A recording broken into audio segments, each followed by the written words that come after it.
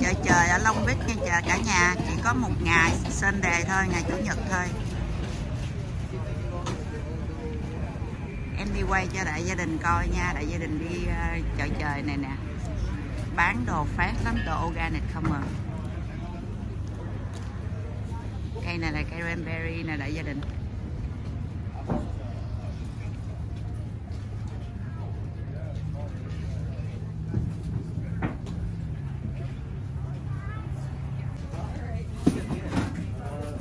Long have the pinks been coming out like this? Um, so they've been doing really good for a while, but Yeah. they're so bright today and so tight because we this is a day early. They they're ready tomorrow, but because so it's been so cold that it slows their growth down. Yeah. So usually it's mushroom we pick them up on a Monday and they're ready by Saturday and Sunday. But they've Yeah. been they've been dragging because it's too cold. it's so cute I love it No, no, but it, it I'll was probably just get some. Uh, are these both King Blues or was this King Blue? Regular blues, king blues. So I get a pound of like, each. of those. Nobody's looking for these This ones. is my favorite.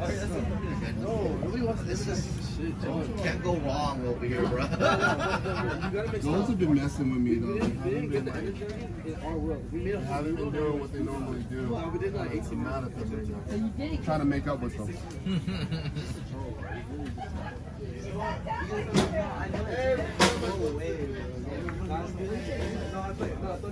oh this is yellow chưa hả? Oh it's so cute I love it. All mushroom hả?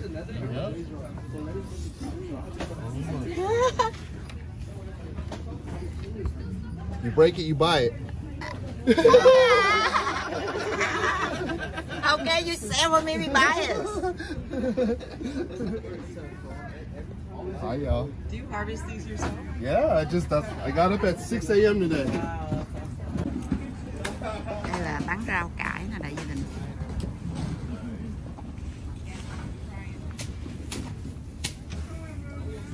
đủ thứ hết organic không đại gia đình Para não quebrar lenta. Lenta, lenta.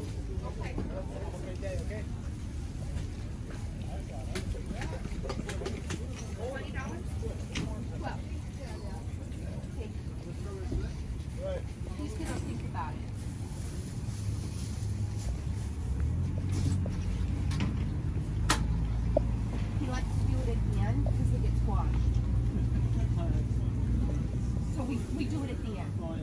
something.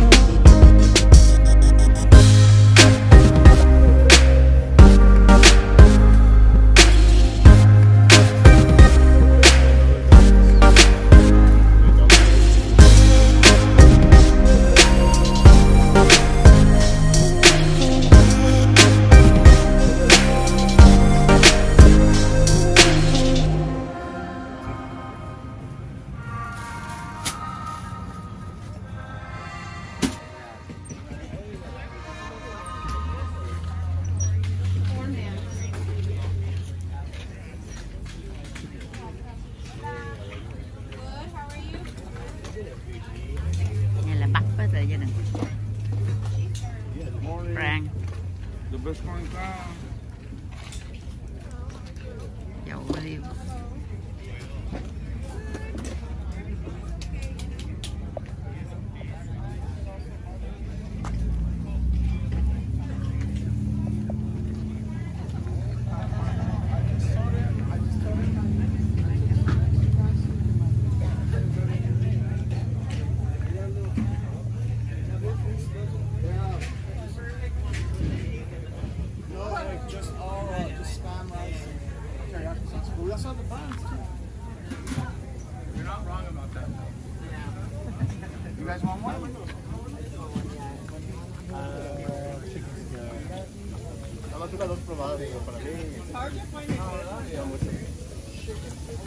money for you.